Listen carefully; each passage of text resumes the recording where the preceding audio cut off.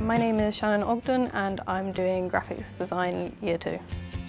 I was interested in graphics because I enjoy art and it's a very open area of art which you can take into lots of different areas of your future. You can do like illustration and game design or anything really.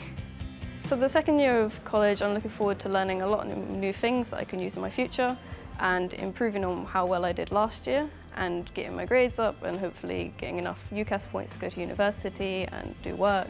It's a very friendly environment where you're encouraged to do your best and you can work in an area of a small group of people on something you really want to do and you gained a lot of experience and it's just, it's a great place to go.